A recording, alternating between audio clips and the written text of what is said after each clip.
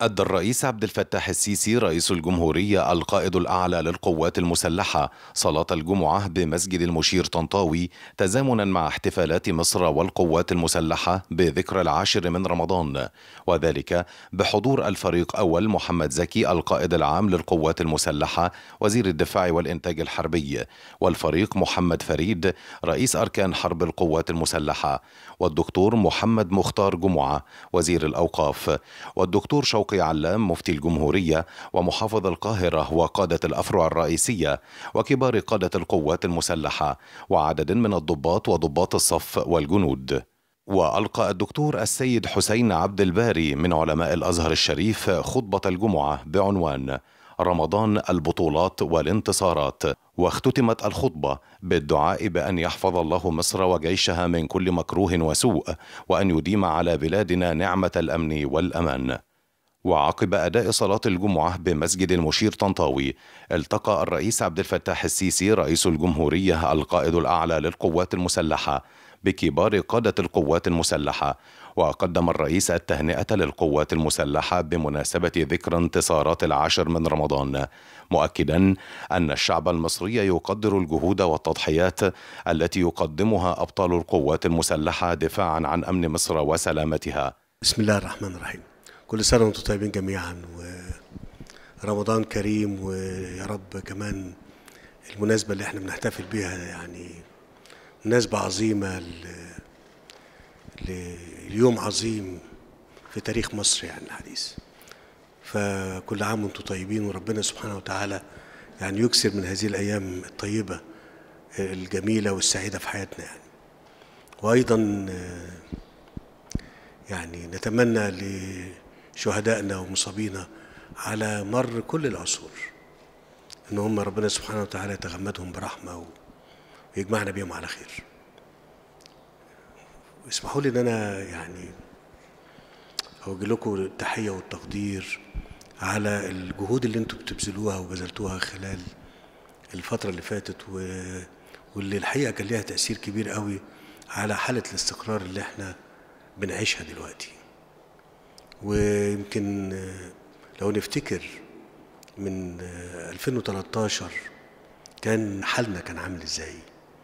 يعني في 2013 و2014 و15 و16 ويمكن لغاية دلوقتي بس بشكل طبعا بجهدكم وبجهد أشقائكم في الداخلية وزارة الداخلية يعني تحقق استقرار كبير قوي قوي وتم مواجهة الإرهاب بشكل حاسم.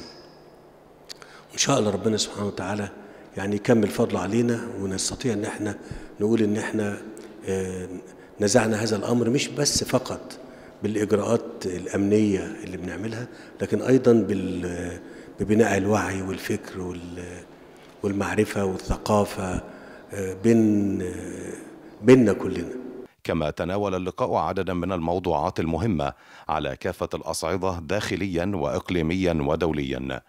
وقد أجاب السيد الرئيس على تساؤلات الحضور حول التعاون المصري الليبي خلال المرحلة الحالية. ليبيا إحنا مستعدين نساعدهم كأشقاء وكبعد استراتيجي زي ما الزميل قال ان هي عمقنا الاستراتيجي على الاتجاه الغربي.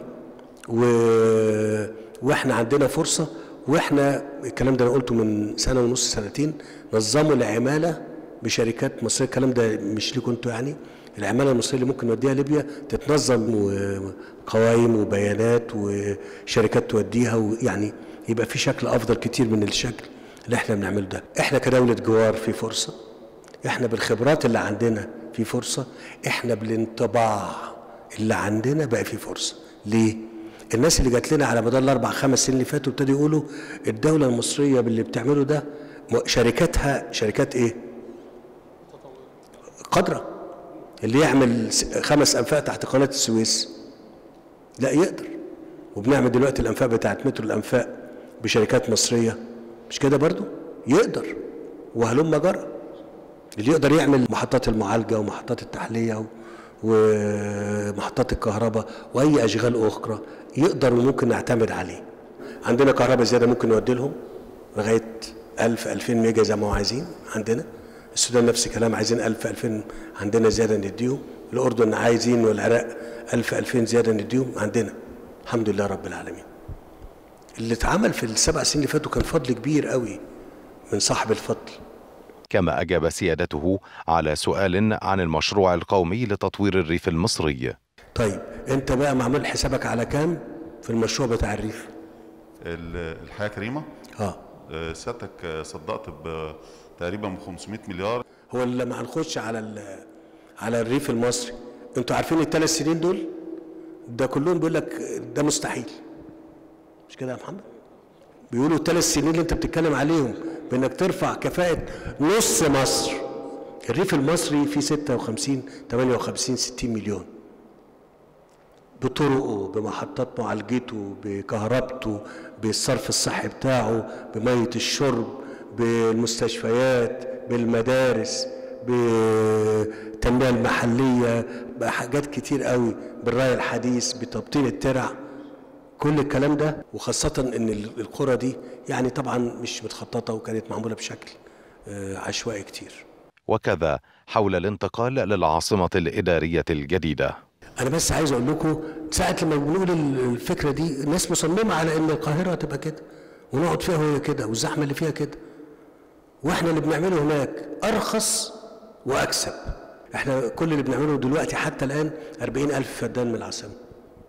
اللي عملناه حتى الآن كام؟ 40 ألف فدان. من كام؟ من 175 ألف فدان. العلمين زيه المنصوره الجديدة زيه. إن شاء الله لما نيجي نفتتح العاصمة هتشوفوا دولة تانية. مش كلام. دولة تانية هي الموضوع مش مبنى. بنعمله لا إحنا بنعمل جوهر ومضمون مع الشكل اللي إحنا عايزين نعمله. كل سنة وأنتم طيبين. شكرا جزيلا.